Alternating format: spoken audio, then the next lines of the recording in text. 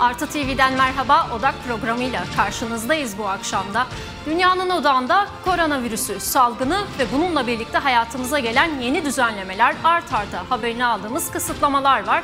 Biz de bu genel gündem içinde kendi odamızı oluşturacağız bu akşam ve kendi odamızda da emekçilerin bu koronavirüsü salgınıyla nasıl mücadele edeceklerini inceleyeceğiz.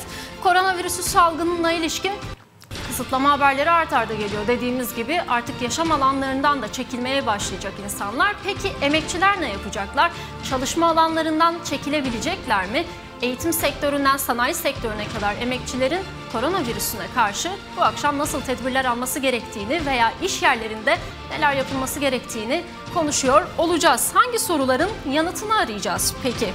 Çalışmak zorunda olan ve hizmet üreten emekçiler virüsten nasıl korunacaklar veya korunabilecekler mi? Bunun için hangi önlemlerin alınması gerekiyor? Uzmanlarına soracağız.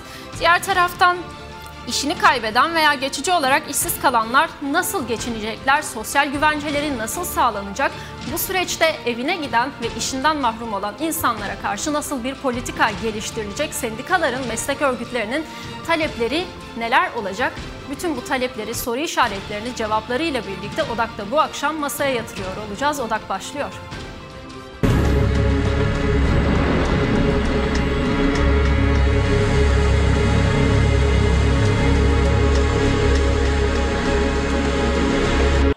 Bu noktada bu zinciri de e, sürdürmemiz mümkün değil.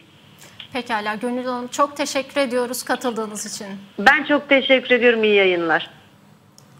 Evet SES Eş Genel Başkanı Gönül Erden çok önemli noktalara dikkat çekti. Hastanelerdeki tabloyu anlattı. Sağlık emekçilerinin koronavirüsle mücadele ederken neyle karşı karşıya olduğunu anlattı. Aynı zamanda Sağlık Bakanlığı'na da çağrı yaptı. Biz temas halinde olmak istiyoruz ve bir arada çalışmak istiyoruz dedi. Emekçiler için aslında koronavirüs salgınıyla mücadele etmenin bir de böyle bir yanı var. İşte biz bu yanı sizler için bu akşam Odak'ta elimizden geldiğince işlemeye çalıştık.